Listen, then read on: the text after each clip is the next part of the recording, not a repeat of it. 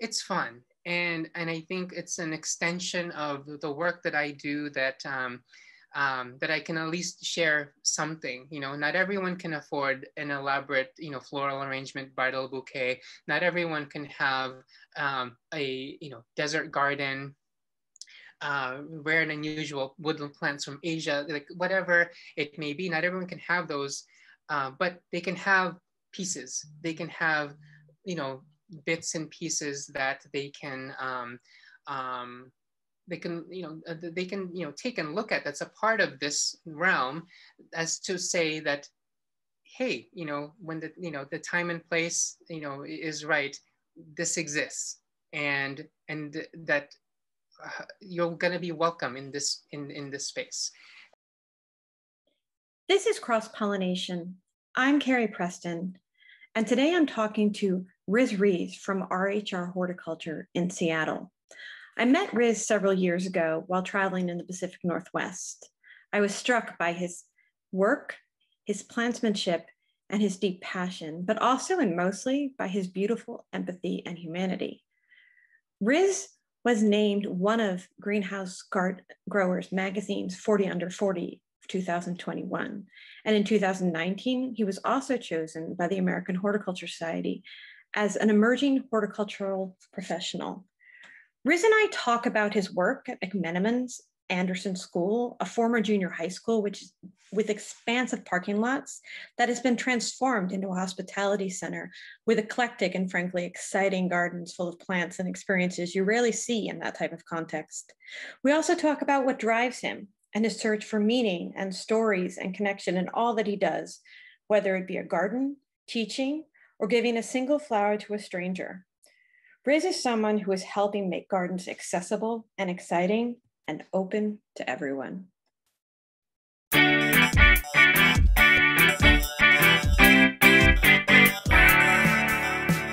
But can you explain what McMenamins is and what their concept it is in general? Sure. So um, it's just a spiel I have to uh, to give often, which is fine yeah. because it's a very unique. I have a very unique um, well, the job isn't unique. It's pretty straightforward, but the company is unique. Let's put the it that way. The concept of the company um, is pretty cool.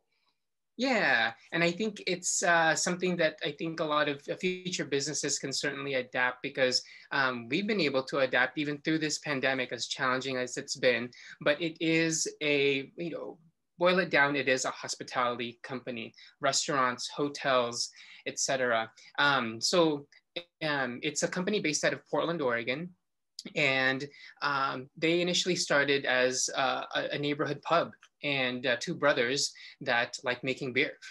and so you Sounds so Portland. Uh, yeah, exactly. If you've been to Portland, yeah. Um, and then, um, yeah, from there, um, they thought, oh, this is really successful. You should open a few other pubs. You should start serving food. Okay, the restaurant comes in. And then it just became the staple um, within the um, Portland region. Uh, and it just built from there, investing in uh, historic properties. And um, so they either uh, former schools um, that have you know old buildings that have been abandoned and basically brought them back to life as a pub, as a restaurant, or um, if it's large enough, as a hotel, and uh, and so they became almost like these resorts. And then um, so we have these kind of key properties, mostly in Oregon, and of course in Washington, where I live, and they um, then began to provide these experiences for their guests because they discovered, of course, that um, once you are in a space and you keep your audience engaged in that space, um, uh, don't want to spend money. So um, that's kind of the, the, you know the general concept, um, the business side of it. But it's also like I mentioned earlier, an experience for people to come in where yeah they expect a restaurant, a bar to have a drink, and then oh there's artwork in the halls of the hotel. There is a pool. There's a spa. There's a um, you know my realm gardens. So a lot of their larger properties, like the Anderson School that you went to, um, uh, has extensive gardens, and it's something that they certainly value as a company. Um, they see it as an important um, you know, a way to sort of engage, uh, you know, people. Anyone, you know, are uh, there's no, you know, barriers, gates. It's all open to the public for people to wander around. But even you know, people who uh, aren't patrons are always welcome to come onto mm-hmm. the property and wander. Absolutely, absolutely. So it's a place to just wander and look, and uh, people are always sort of confused as to what this place is. And then all of a sudden, they discover, um, you know, they peek through a window of one of the buildings, and there's a bar and there's a restaurant. So, um, so it's like this know, experience, people... and then there just happens to be this place where you can get great beer, and happens to be this place where you could spend the night, and these types of things. Exactly, exactly. So, uh, so it's a it's it's a it's a pretty neat concept. What struck me when I was visiting you is that so it seemed like the Anderson School was like this traditional school at one point with like way too many parking lots, like every American school. And I and I imagine like you know, and I, I'm sure they could probably do this in old malls and strip malls, and I'm sure they are, and that they like really just took this infrastructure of this like overly parking lotted location and like cut out asphalt and made gardens into an existing infrastructure. Hmm. And I thought this is genius because um because there's so many places like this that you they sort of feel like asphalt deserts and i found it so deeply inspiring how like they didn't like break it down. Like they kept the existing buildings and then they just like cut things out and added it and created intimate spaces in this place that before was clearly not intimate. Yeah yeah. Um, yep exactly. I think uh, it's interesting you mentioned that, Carrie, because I was thinking of that yesterday as I was um, weeding and um, and pruning our roses yesterday. How um, I get to work in this space that could have been um, yeah, asphalt. That could have been um, just an you know um, turf lawn. We actually don't have turf, which I'm so grateful for, um, because I don't have to you know mow and deal with all that. But yeah, I just realized that how much space they you know sacrifice uh, for um, for gardens. I'm willing to take the parking spot, you know, uh, further away, sort of situation. But um, but yeah, the mentality is still people want to go to point A, point B, and um, and that's actually influenced a lot of our. Uh, uh, the, the layout and the design of the gardens as well is to um, observing how people move in, in space and um, and uh, trying to you know to, to, capitalize on that and also um, you know protect our, our plantings be, uh, because of that so uh, it's been an unusual dynamic so do you find like certain bits of the garden like people don't want to have to go around and they'll cut through and so you'll just make an opening there and just yeah i mean we've tried to it's always sort of a fight internally because there's um, there's only so I feel like there's so much you can do with plants, of course, and uh, you know, and structure and, and whatnot. Um, but um, sometimes you just lose that fight because it's a very common uh, cut through, and then you begin to step back and observe. Okay, you know, why is that you know uh, happening? You you have to observe. You know, every other day, just go and see when it gets busy what the natural trajectory is. What are they drawn to? And then when you can identify those things, then you can sort of begin to like, okay, well, let's, you know, let's make a modification. And can you give some then, examples of, of things that have like, like, did you try something out knowing, let's see if this works? Can you give some mm-hmm. examples mm-hmm. of this? Oh, I, yeah, yeah. I, I just thought of one actually. The best example is um, our desert garden, actually, um, which we wanted to just feature this large um, mass uh, planting, this large planting bed of hardy uh, succulents and drought tolerant plants. And of course, when we first put it in, um, there's a lot of empty negative space there until plants filled in and uh, things that you know that we seeded in that you know would finally take um, take off. So naturally, people still look at that and, and, think, oh, there's a space that I can cut through. They you know think it's a space like, oh, it's all just rock. You know, I, I, I can just step into here. So we would strategically place um, either plant material or rocks, or we have a ton of um, of wine barrel rings uh, from wine barrels that have been oh, yeah. deconstructed. And um, so, because we have uh, uh, wineries as well in some of our properties, And so uh, we would, you know, make those spheres and different ornaments, and we actually, um, uh, you know, place those um, in a way where uh, maybe this will, you know, give the impression that, uh, yeah, oh, I really can't walk through here, um, but then they still do, you know, they find their way around. It's just like, okay, what's going on? And then you do a, you know, a little bit of that until you reach a point, okay, I see that there's a path associated with this bed here. Naturally, they're gonna want to go here no matter how much I block off this space. Like how many um, wine barrels and cactus I put here. yeah, and like we even have signs too, like please be careful, plants are spiny, da da da da. Um, but People somehow they just no and that's one another thing too like we'll have signs up and i'm like this is stupid you know but um um but yeah you're you're right you know uh, people don't read so you have to pay attention to these um you know to, to visual cues that they could be looking at um, but a lot of it you can just really direct. So if you have an intended path that's right there start from that space and then gradually you know guide them. And um, and in a way it worked out well because we basically cut this desert garden bed in half. So by having a pathway then they can have a little experience as they go through. They're going to cut through anyway. more yeah. Exactly. So then we began to develop the edges of that um, of that bed with a few more you know interesting uh, plantings um, and uh, a little discrete um, um sign for uh, interpretation. And and then we also changed the color of the path too, because everything was top dressed with granite, uh, crushed granite. And then uh, I brought in a crushed uh, lava rock um, as um, uh, as the path, so you have a distinct um, like okay, if this is enough, like then something's wrong with you, you know, sort of situation. But um, so yeah, that's how we uh, we solved that issue.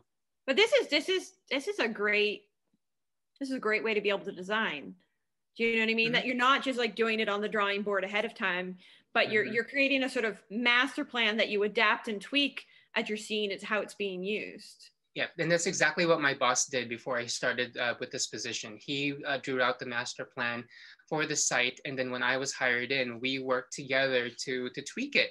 And and so many things had to change because it was the process where um, and it's something I kind of dislike about how we do our gardens because it, they happen so fast. It's not like we wait for the construction to be over and then we have, okay, now we can move in and do our stuff. It happens together.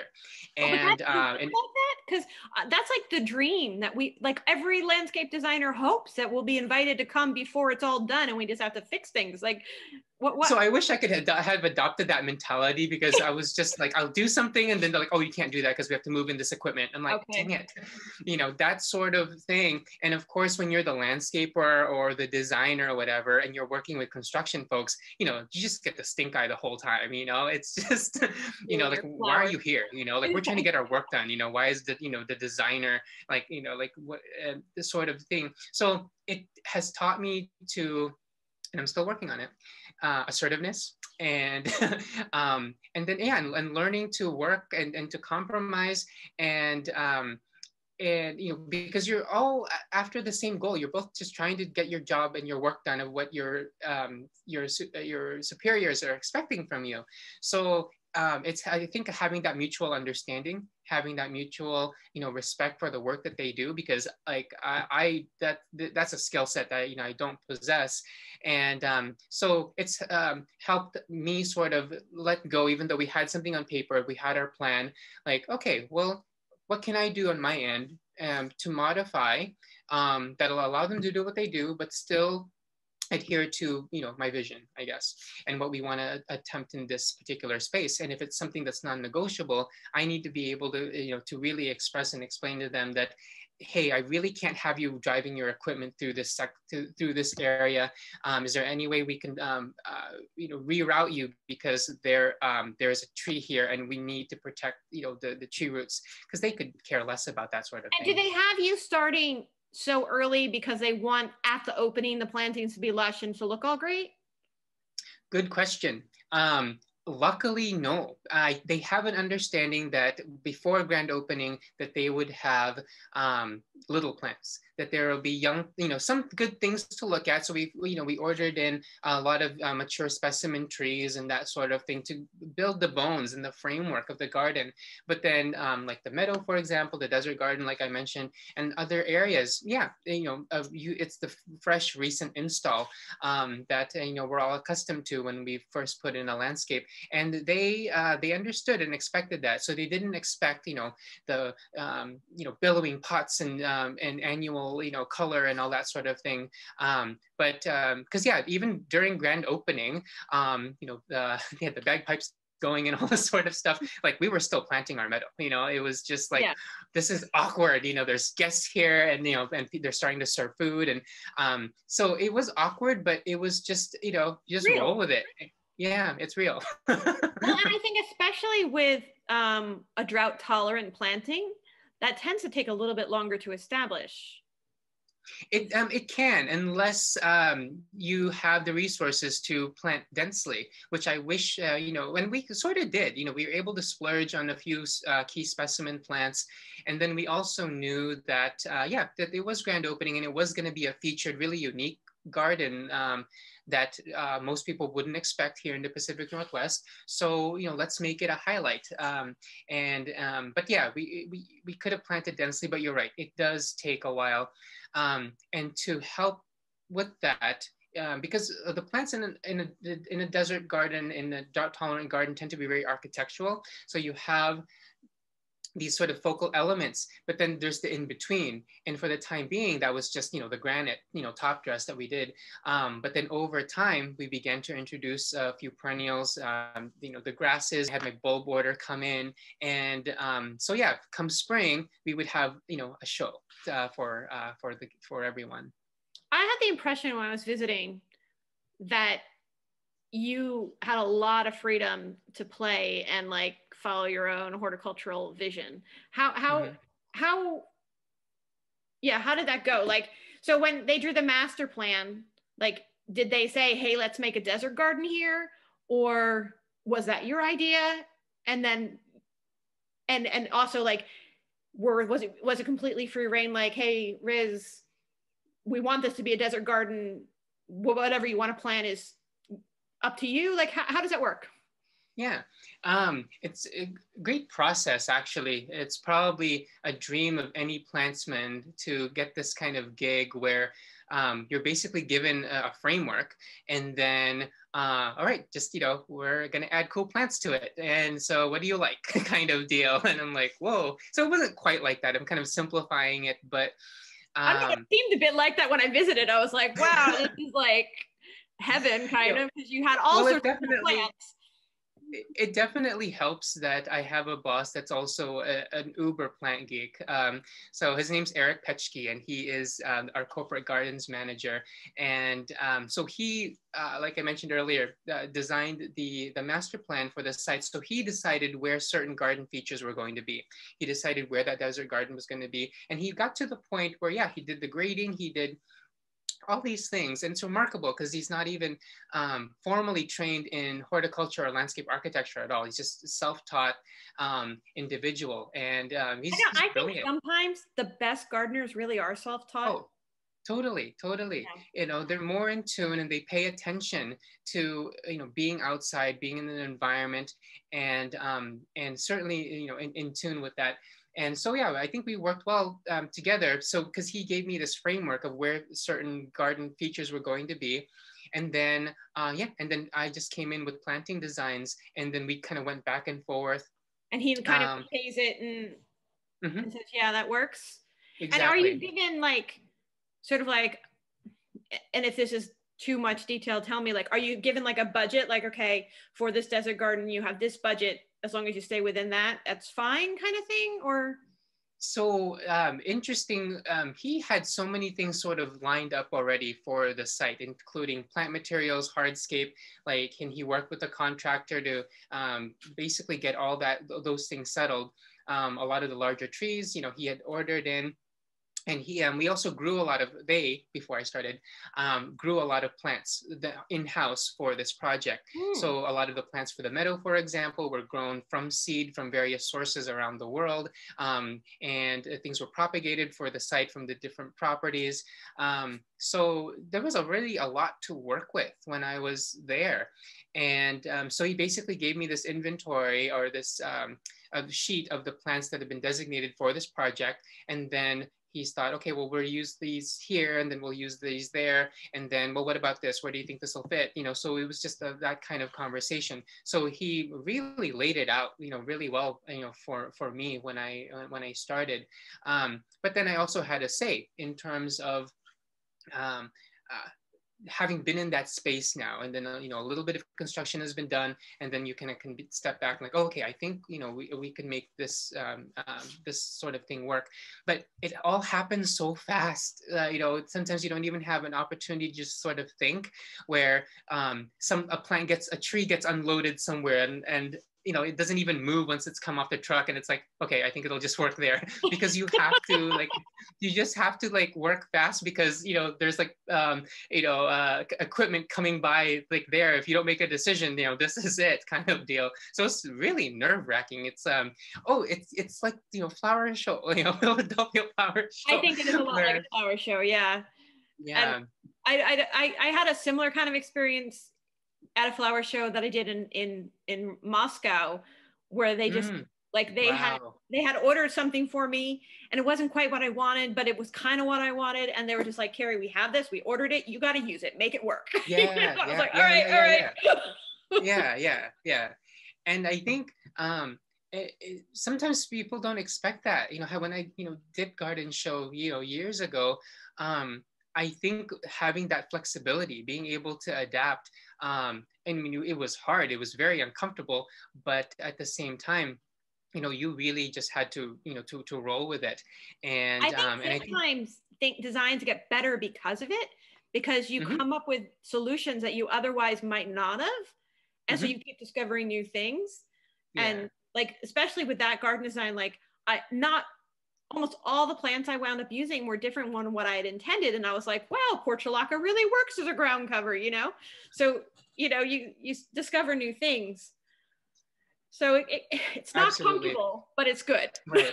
Well, I think that's one thing I, you know, would instill in students, you know, um, when I teach is to, um, yeah, embrace being uncomfortable. I mean, and it's, you know, it, it's a part of the gig, but at the same time, that discomfort also, you know, uh, they have to trust that it's going to lead to an experience that, uh, you know, will make things easier or, um, or you learn from a new skill from it. Um, it's part of paying your dues, I guess, is the way, you know, you could, could you know, it's a way to put it. But, um, but yeah, it, it's, it's challenging, but you're right. You do, you do learn. How did you come on board? Like, did you, did someone know work you'd done? Like, how did that work? How did they find you? Um, so uh, have you met Sean Hogan from Cistus Nursery? Um, yeah, so uh, Sean and I, you know, years really good friends, and of course, you know, I love the nursery, and um, and you know, have so many plants, you know, from from Cistus, and um, he actually recommended me to Erich uh, when Erich was looking for the gardens manager for this position. Um, and um, so yeah it, it, it, started there. So very grateful for it. And of course it works out because you know we buy plants from you know from so many plants you know from from Cistus so there's this there's already a history there.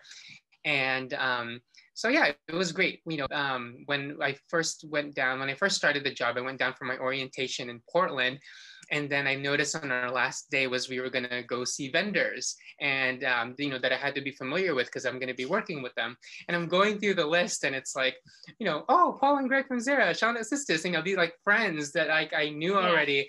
And they were so excited for me to, you know, to be working for them and um, you know not just because they, they were going to get business because i was going to buy from them but i think just um, knowing that i would have that um, you know that that kind of freedom to create and to work in um, in in a really cool garden and landscape. Well, and I can imagine.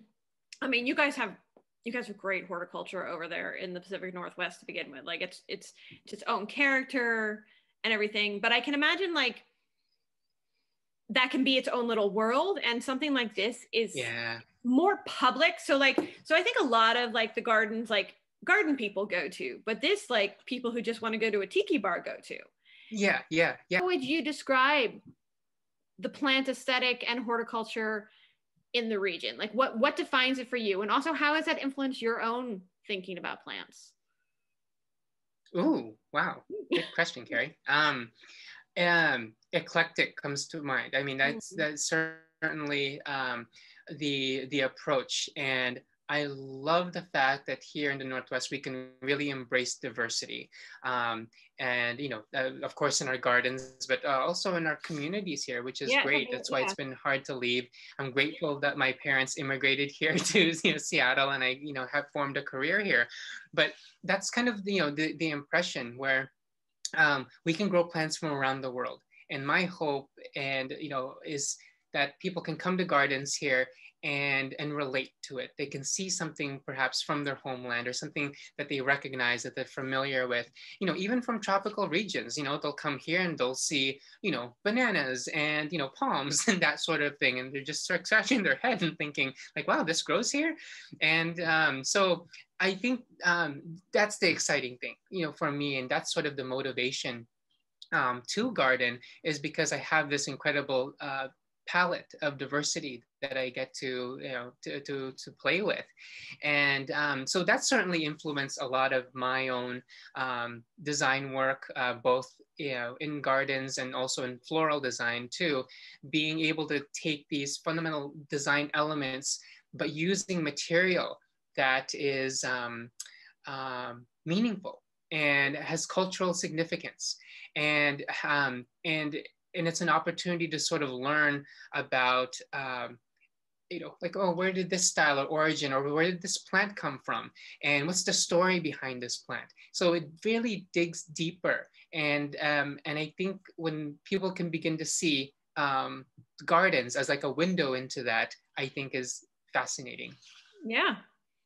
Uh, that does that make sense? Yeah that does make sense. And i'm, I'm, I'm struck by it because i didn't um because I, I wanted to talk about your floral design and i was going to wait on that but maybe we should talk about that now because this idea of that you're like using materials that are meaningful um it's an intriguing idea so like can you give some examples not just with like your your horticultural mix but like with your floral design how you're doing that how how you're using meaningful materials and how you see that and how you've mm-hmm. done it um so plants and flowers in the, themselves as a medium is you know is meaning in its life and it's something i've committed you know myself to um, and with the floral aspect, a lot of it is influenced by the seasons. And I'm, I'm a member and a supporter of the slow flowers movement. Um, and through uh, my friends, you know, uh, in the floral industry, including Debra Prinzing, who, um, um, you know, uh, promoted and, and began this movement valuing um,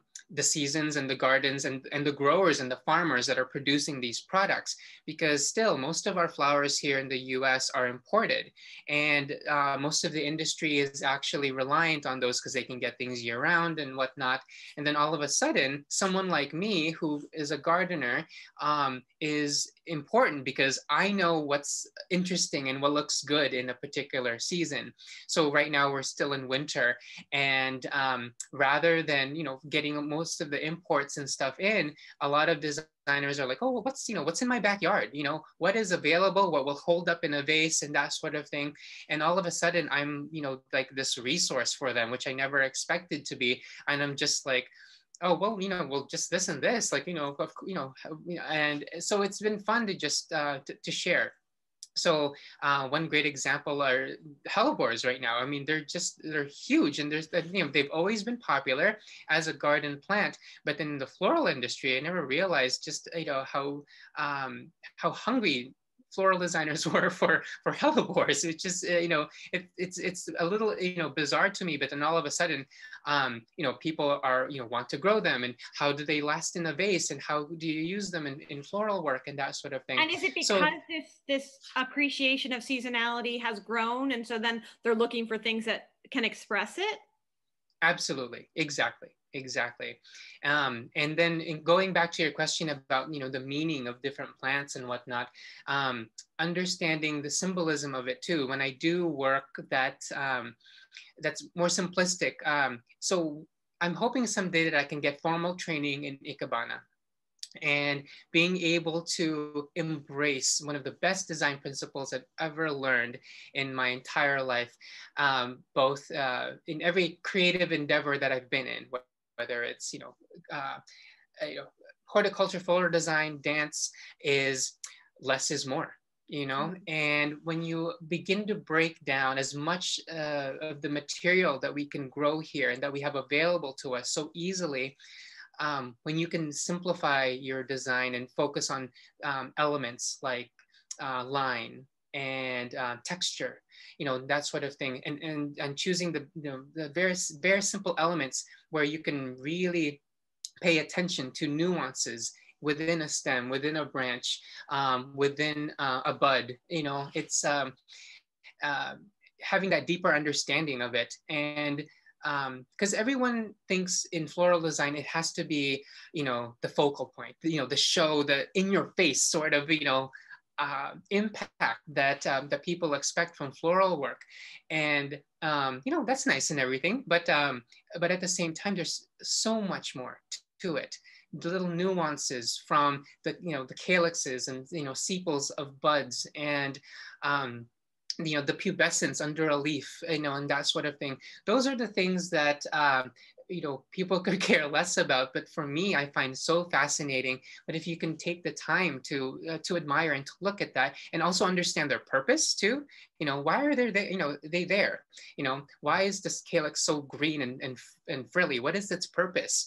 Um, you know why are there hairs underneath the leaves of, uh, of, of certain plants? And um, and it's that natural curiosity about about plants and flowers that we need to encourage everyone, you know, you know to, to look at. And do you feel like in the design you can create a sort of path so that people can notice these things and observe it?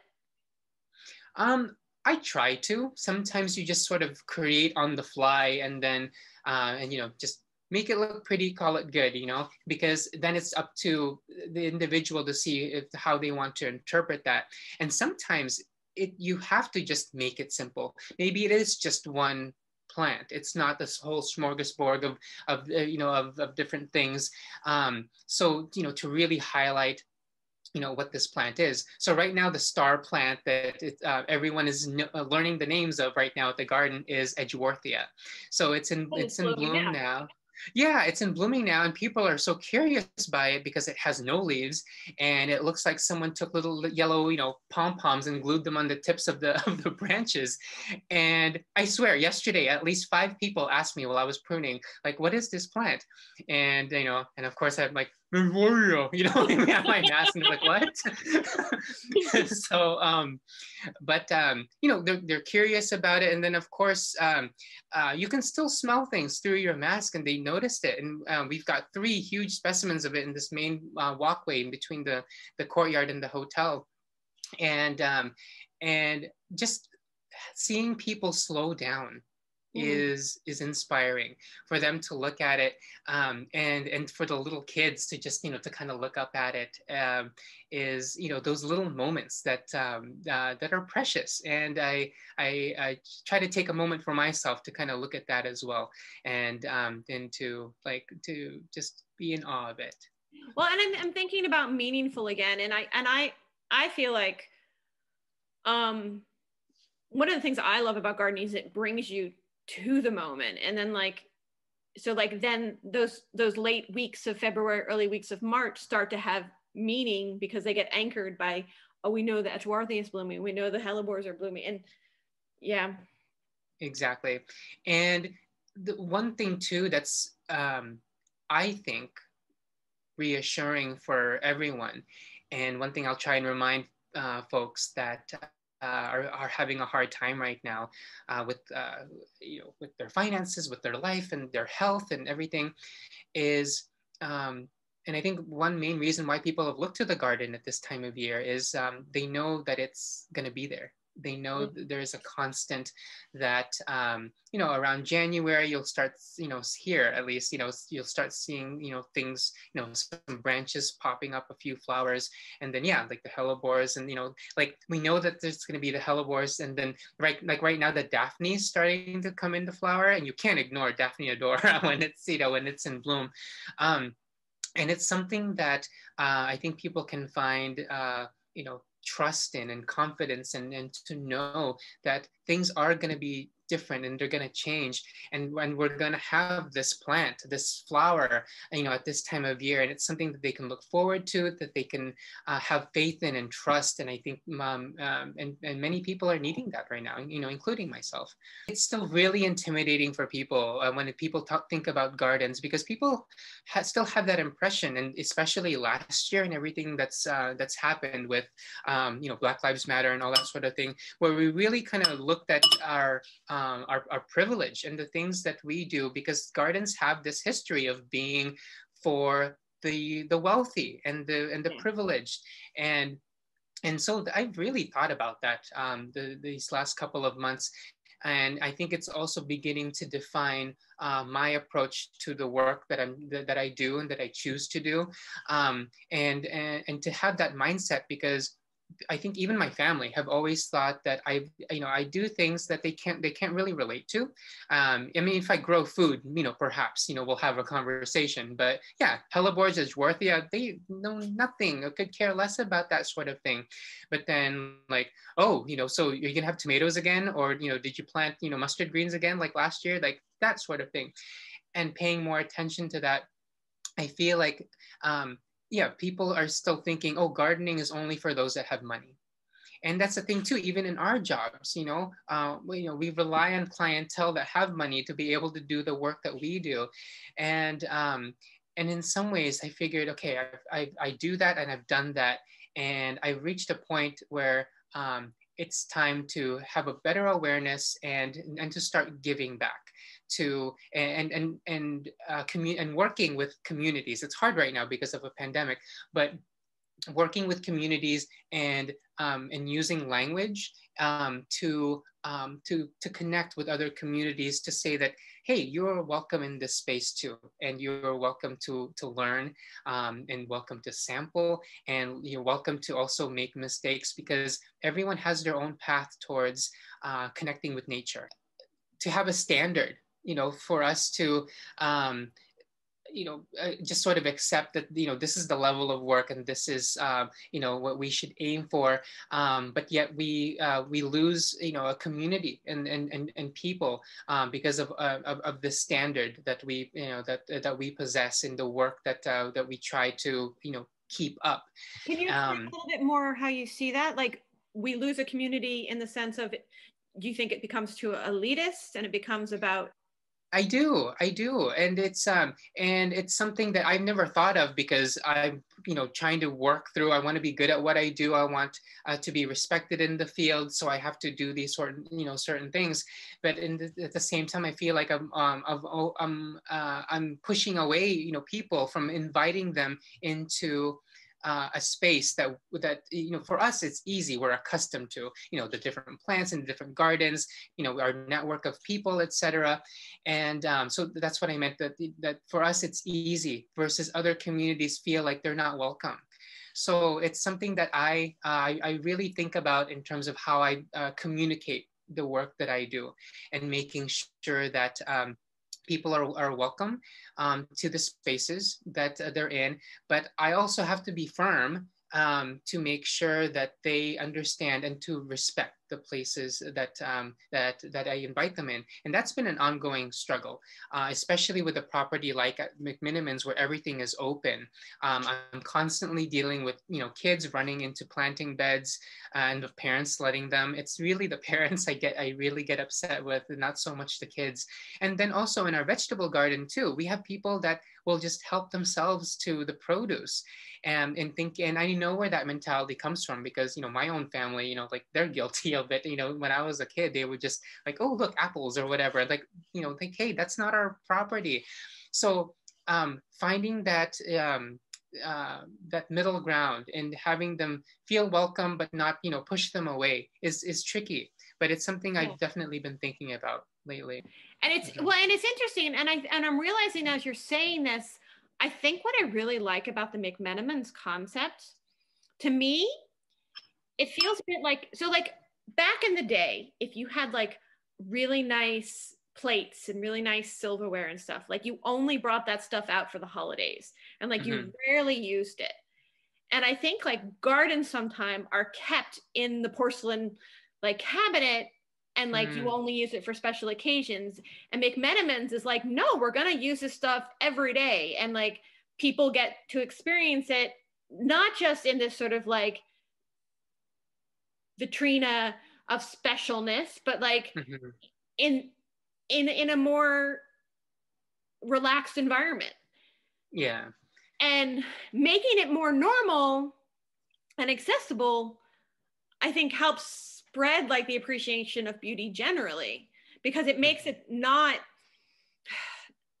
not just this thing that like rich people do but like it makes it something that's for everyone.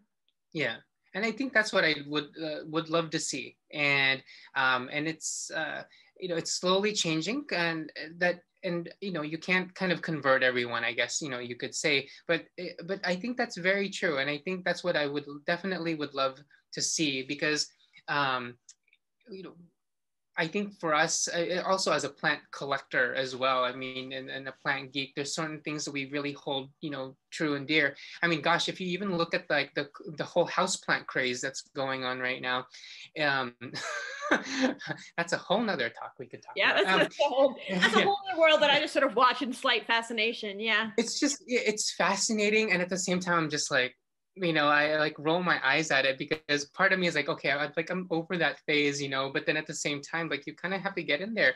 But um well, uh, I but, think everyone needs different different entry right. points. Right. Yeah. Exactly. And I think that's how I'm trying to approach it. You know, hopefully people, and you know, they're not going to have the same journey that I have. And in some ways, I'm excited, you know, for it, um, for uh, people to have this gateway into into gardening. But as that develops, they begin to, um, you know, they want to covet the rare and then the unusual, the variegated, you know, the um, um the, the more bizarre, the, the variegated. yeah. so you know, and uh, and then just so seeing that trend, then it becomes sort of like like oh, I have a variegated monstera, you know, deliciosa, like you know that sort of thing. It just like um, you know you you begin to adapt that mentality, but then at the same time, I also want to be able to communicate like there's also absolutely nothing wrong with just regular monstera deliciosa. Um, but um, yeah, because I think it's um, it's that whole um, you know it's the victorian you know era you know mentality sort of deal that i think will always kind of you know be there. it's human. It is yeah yeah. you know and like it's it's I I think of it when I watch it sometimes it's like hipsters being like oh I heard of that song before like anyone else knew it. Like yeah, yeah, yeah. you know it's pe- people yeah. have that. And I and I think yeah. um and there'll always be a portion of the population that finds that very important and for some people it's just their way to get in and like generally develop an appreciation for life who knows mm-hmm. Mm-hmm. Yeah, i want to yeah. talk a little bit more about your journey because you were saying like your parents and your family they don't really even like get what you're doing with your edgeworthians like so like how how did this crazy passion develop in you oh wow um public television. Let's put it that way. Really? Um, that was not yes. the answer I was expecting. so um, uh, it's well, I guess it would start. So I'm from the Philippines, and I was born and raised in the Philippines until I was seven years old. So I grew up in a fruit plantation that my dad ran. So already I was exposed to, you know, uh, trees, plants, fruits, and to this day I'm obsessed with, you know, with fruits. um, and then and then you know of course i saw flowers in the periphery and then and just nature and just seeing how beautiful it was you know and um, our home you know we had a, a, backyard with a very lush you know landscape. And that was my playground you know as, as a kid um, just you know wandering um, you know the, the, the forests and the, and the jungles and the farms that you know and the plantation that we were in. Um, and then yeah come seven years old we moved to the united states. I didn't really speak english. Um, and then um, I watched television and I recognized Big Bird because we had Sesame Street back in the Philippines. Okay. And then uh, all these characters sort of started coming to life. And of course, as a kid, you know, you engaged and you know you start singing along, etc. And then um, I guess I didn't know how to turn, you know, the the, the channel the, the, the, television and that's like so i just it was just all pbs basically so with that came you know um uh Galloping Gourmet, you know, Julia Child, Jacques Pepin. And then after the cooking shows, or is it before the cooking shows, we would have, you know, Roger Swain and Peter Seabrook from the Victory Garden. So um, huh. uh, all that sort of thing. And then this um, all came because you didn't know or it didn't occur to you to change the channel. Probably, you know, because it was just sort of like, oh, okay, more Sesame Street, and then you know, and Mr. Rogers' Neighborhood, like all this sort of stuff where you know, um, it was like it was okay to be a kid and and and, and to see these different things that they were sharing and um, you know, learning to count from a vampire, you know, sort of thing. Um, but then, yeah, and then all the other shows, you know, Nature, Nova, all these sorts of things just opened up this whole sort of world. Um, and then yeah and then the victory garden and you know and even the cooking shows you know we're just all so influential in wanting to explore um, and um, and then um, and then just being in the northwest too. Um, you know seeing the the environment around me it was just instantly um, you know oh like what is that plant you know and and um, you know just kind of started from there. Started going to the library and checking out books and then um, and then um, uh, again PBS a series uh, called Gardens of the World with Audrey Hepburn. uh, do you remember that? Have you ever seen that series? No, it's, no, I don't remember it. It's um, uh, it, it I, you should check it out. It's very yeah. you know glammed up, and of course it's Audrey Hepburn and all these pretty gardens and whatnot. But it just opened this world because she um, went to different gardens around the world and showcasing. And then you see that they are there, that there's worlds. Yeah. Exist they they are and they were just they were magical. And i think for me as as a kid that uh, was very shy really awkward um and um you know uh, it was sort of an escape that these were places that um uh, that i felt comfortable in that i was very curious about. And i think there was also a desire to um, to stand out in a way where um like growing up i feel like there wasn't um, like i just you know you just feel like you're different you know and and you wanted to pursue something different. And i think there was a lot of pressure as a kid you know again being asian too you know you were expected to do well in school and you're going to be a doctor you're going to be a lawyer. Like if i do something different you know enough that it would come across as something like oh wow like he really can be beyond and like be better you know mm. than that and I kind of just embraced being, um, you know, doing something different.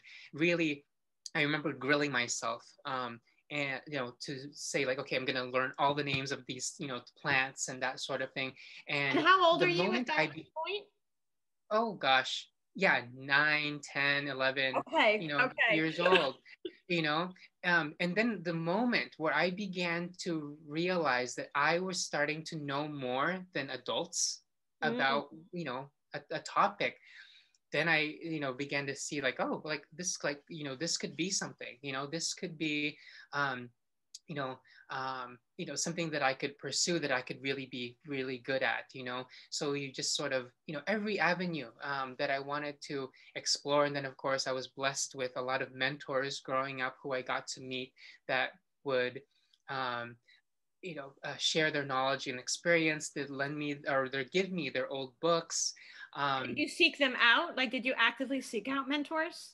They, um, as I began, you know, being interested in um, pursuing um, um, this field, I would look at different ways to, um, you know, go to like a plant show or a plant sale and uh, and attend those, and then and enter those as well. I remember being in, uh, yeah. Uh, 12, 13 years old, um, when I entered the Northwest Flower and Garden Show, they had a like garden club, a Federation of Garden Clubs, like little competition. So think of like the the fair, where you would you know enter your prize, you know, uh, radish for you know weird win blue ribbons and that sort of thing. Going back to the floral stuff, because you you mentioned in passing the slow flower movement. Can you explain a little bit more to people that don't know what that is, what that is, and mm-hmm. how you're involved? Yeah. Sure. Um, so I think many people understand slow foods and that concept of um, reducing your um, your carbon footprint to make sure that you're aware and, um, and knowledgeable about where food comes from and how it's grown, how it's sourced. So slow flowers is simply the same thing, but uh, with flowers. And um, so that's the, in a nutshell, that is uh, that is the movement.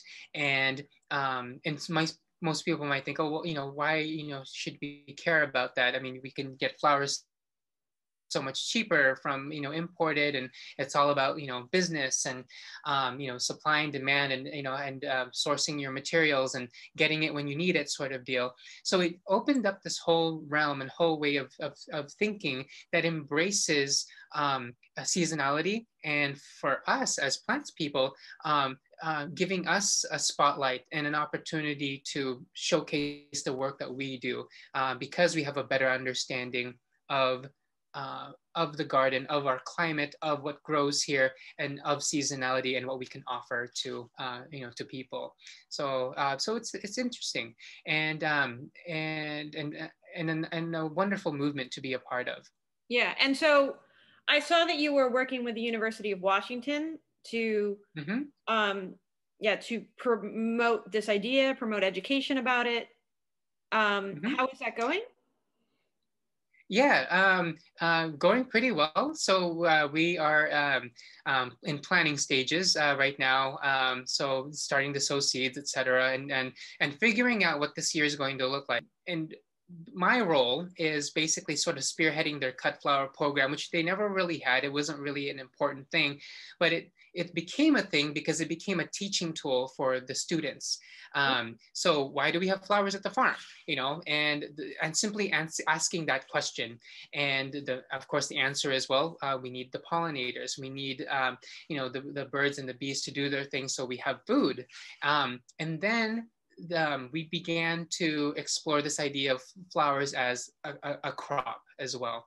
And so that's where I stepped in and, um, and with the influence of the slow flowers movement and, uh, my own experience of just, you know, wanting to grow flowers and cut flowers, um, slowly they would, you know, we would add a row each year where I could do my flowers. And um, so then it became a teaching tool uh, for volunteers and for the students um, to you know get together. I'll teach them about flowers, why we grow flowers, why flowers play an important role, not just as um, pollinators for a farm, but also it's an industry and introducing them to um, you know, the whole, you know, uh, yeah, the imported flowers versus local flowers and where flowers come from and that sort of thing. And there's many, many lessons that can be, um, that can be shared. So um, in an ideal non-pandemic realm in the last couple of years, um, we would have students come in. Um, we would start in spring and then throughout the summer and t- towards fall, where we would have um, what the farm manager uh, coined flower power hours, where we, um, they would come in and learn about flowers. We put them to work either weeding or you know deadheading or you know just teach them something about you know how the farm works and then um, we would assemble bouquets for a CSA, uh, which is a, um, a, a, subscription to the produce. And we basically would add, um, make little bouquets to add to the CSA. We didn't, we haven't done a separate CSA for the flowers, but um, but to understand that you know this is you know how we process flowers and you know and all that sort of thing. And of course, there's always extra flowers. So as a conclusion and as a thank you for their help, uh, I teach them about um, flowers and arranging flowers so they have a little something to take home with them. Um, so we, we grow David Austin roses as a, as a crop in the mm-hmm. farm. I mean, it's not a, a great crop uh, to to grow like for money, um, because it's very labor intensive, and you have to because you need the volume to you know to make any money to do that sort of thing. Um, plus, it's a very specialty crop. But anyway, I love them. And so it's an excuse to just buy more so I can plant them at the farm. Um, uh-huh. But it's been an incredible teaching tool for us because, you know, all of them know what roses are. You know, um, it's the most popular, most recognized flower, no doubt. And then, you know, so I showed them, all right, so we're going to talk about, you know, uh, roses today. And so, uh, as you can see, these are probably ones that uh, you, you know, that you don't see at, at the market and um, and then I tell them about you know uh, whatever I feel like telling them at the moment about uh, about what's going on. But when they're in bloom, oh my gosh, they first they think like oh like this is a rose, real well you know, I I, um, I cover the flower and so they just see the stem. Like okay yeah you know do you recognize that it's a rose? You know it's got the leaves got the thorns like oh it's a rose. So yeah it's a rose. But the sort of aha moment for them is when they take that rose i hand it to them and I tell them to smell it. They don't even think to like just you know to, to smell a rose because you know they know that oh yeah there's like you know there's some and then they oh, smell it and so sad that this generation doesn't even think to smell roses because yeah. they're these scentless supermarket yeah oh. yeah so then like because natural, it's a natural human thing to you know to smell so at least they know that gesture and some will do it's like oh it's a flower i'm going to put it up to my nose but it's the reaction after that and they're just like whoa, you know? And they never, and then, then I tell them that boys and girls is a rose, you know? and, and, they're just astounded by it. So then the, the, then the questions come in like, you know, how come the roses that we have at the, you know, in the flower shops in the grocery store have no scent? And then again, then it becomes, a, you know, another teaching moment and explaining it to them. And then I even get into the whole thing. Well, yeah, these David Austin roses. So if you're going to grow cut flowers and if you're going to invest in it, um, so I, you know, I showed them a stem. Now, guess how much this is going to be?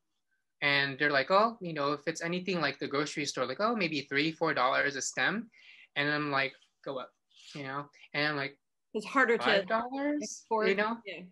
you know, and and um, and because it's a specialty crop, and then and then if someone says like, okay, like ten dollars for that stem, and I'm like, yep, and I'm like wholesale, you know? And um and i talk about like the wedding industry for example you know and the demand for these types of um you know luxurious flowers because you know you look at all the wedding magazines and stuff it's peonies and you know garden roses and all dahlias and all these sorts of you know beautiful flowers that then they're beginning to see that oh like people pay money for this and all of a sudden there's value in this simple stem you know that's of a rose. that that's what yeah. Yeah. So um and then making that connection too so they see the flower but then now they're also looking at the plant and i'm like okay so um, what does it take then to to produce these flowers? So then we go back into you know the farming aspect and the gardening and the horticulture aspect of it. Um, and then talking about um, you know things like yeah pruning and you know and and, and rebloom talking of course pests and diseases and all that sort of stuff. All these things that we have to think about to produce this flower for this person or for this wedding whatever. So they see the whole you know picture and much like food and, and they understand now you know of course with food um, uh, and they see that process and now they see that with flowers as well. So it's been the most wonderful gateway carrie for for gardening is cut flowers because everyone understands cut flowers. They see them at the grocery store. They know you put them in the vase you enjoy them for a few days and then you you know then you toss them out. And so you know when you can get them engaged and, and hooked with just a little bit more detail about you know about that flower about where that comes from. Because every time i do a bouquet i almost see it as an opportunity for the recipient to uh, to learn something from it. And if it's you know including a, a weird leaf or a, a, bud of some kind something that's know, beyond just the focal flowers that are that are used um, I you know would love for them to notice and then and, and, and ask about those sorts of things and find the value in those things. But um, but it's often you know it's a hard sell because color and impact is um, you know is, is everything. So it's it's hard to to navigate that sometimes. yeah, but even having that as your intention is is good because I mean, flowers here, even local flowers are are plentiful and cheap, and so um yeah, I need to visit you someday in person. It's still a dream of mine. I've never been to. oh, you love it. I think flower. If anyone yeah. interested in flowers and horticulture, it's great. But I, but even then, like, there's definitely differences in like, yeah, um, something that's more seasonal, more ecological, and it's just so easy to be like, like we can start buying tulips all the way in January, and I'm like, Carrie, just wait till late February. You know, don't. yeah. Don't yeah. Yeah well even then like uh, you know we'll justify because you know we have tulips in like november or just like december and i'm like i'm still planting them you know? Um but the thing is you know we like, have like playing christmas music at halloween you know? Yeah yeah yeah. Oh that drives me nuts. Um but yeah like but you know we have the resources now. We have local greenhouses that you know will pre-cool their tulips you know way beforehand and then get them to flower you know by december january. So like so in that sense you know it's fine. But um but yeah there's no comparing like greenhouse tulip versus field grown tulip. Like there's a difference, you know, in terms of um, uh, stem strength, quality, saturation of color, and size too like um, that's very evident. And um, so i'd like to think that um, you know and, and, people rarely see that you know because they don't see uh, you know the the, the, um, the progression of um, of our world and the changes that take place. They see that moment. And so we for us it's that one moment that we have for you know for to convince them that this is worthwhile and of value so um, uh, so yeah, it's uh, it, it, it, can be tricky, but uh, but yeah, you're right. It's um, uh, there, there, are certainly differences, and it's well, well, well worth the wait.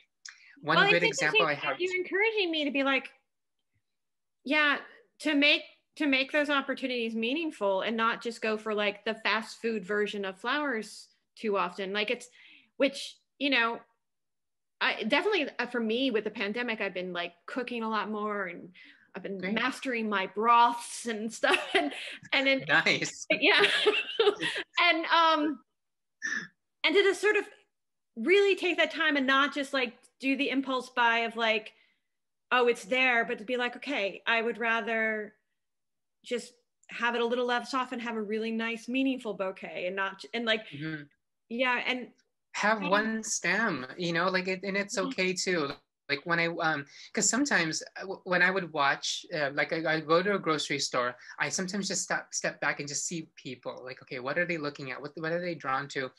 And um and sometimes when i see someone younger and they'll you know uh, thinking of buying flowers um like they'll like go for like the one like single rose or like a one stem of something. And then it takes me back to thinking oh like you know why just one is it because they don't have enough money to buy the full you know bunch uh, or you know well what's wrong with just getting one you know and having that sort of statement in some ways it's that whole thing where you know you have one stem that you know that's symbolic and meaningful versus you know a bunch you know that um uh that's like it's almost like you're trying too hard you know but with one flower one stem you can make you know a, a, a statement and uh, and get a message across. Mm. that's beautiful. Yeah. Yeah. Thank you. And it's uh, and, and it's true. And i'm of course not the first you know person to you know to to explain that but there are times where you know then i think back about the whole money issue because as a kid you know i didn't have a lot of money um, and um, when i save up money you know i would get you know my plants and, and you know and, and buy flowers. But and sometimes i think that maybe that's all they need you know? Um, and it's just that one flower to either to give to someone or just for themselves to you know to enjoy. And one of the greatest joys that i have is to be able to give flowers away.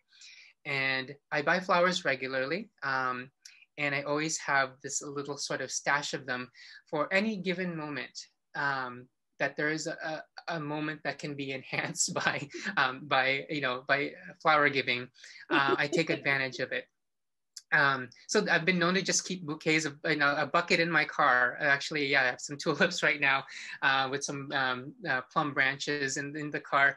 That um, like you know, if there's an opportunity to see someone and to greet someone, um, and like those are the most incredible moments. Like when even at, at the grocery store, um, I'm you know buying some flowers in my groceries, whatever, and um, uh, the the young lady that was check that was uh, you know, uh, cashiering um, commented on the flowers and was like, "Oh, those are so beautiful." Like, "Oh yeah, thank you." You know, they just kind of have to you know make conversation, whatever. And then um, I don't know.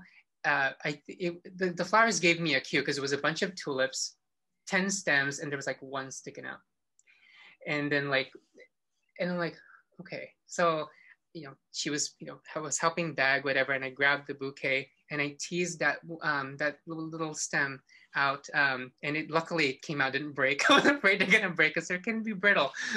But the whole stem came out. I took off the lower leaves and you know said thank you you know and uh, and she's like you know even through her mask you can see her eyes you know just sort of like light up yeah and then just like oh my gosh this made my day you know sort of thing and like um you know it was just uh such a small gesture, but so yeah, meaningful. yeah, and um, you know, it's. Uh, I just I, I I love the fact that that just came like to me. It wasn't like I'm checking out the scene, yeah. you know, like are people gonna be like looking, um, you know, like you know, it's not like I wanted, you know, I didn't like you know draw attention to myself that I'm making the, like this, you know, this gesture. It just, you know, um, like it just felt like it was the right you know moment and the right thing to do i know it's it, it's fun and and i think it's an extension of the work that i do that um, um, that I can at least share something. You know, not everyone can afford an elaborate, you know, floral arrangement bridal bouquet. Not everyone can have um, a, you know, desert garden uh, rare and unusual woodland plants from Asia, like whatever it may be. Not everyone can have those, uh, but they can have pieces. They can have, you know, bits and pieces that they can, um, um, they can, you know, uh, they can, you know, take and look at. That's a part of this realm, as to say that, hey, you know, when the, you know, the time and place, you know, is right, this exists, and and that you're going to be welcome in this in in this space. You can find out more about riz by going to his website or instagram under rhr horticulture. I've linked to both in the description i've also linked to more information about McMenamins anderson school and the slow flower movement. If you enjoyed this video be sure to like it and share it with others. And if you want to be kept up to date on our videos subscribe to the channel and turn on the notification. Thanks.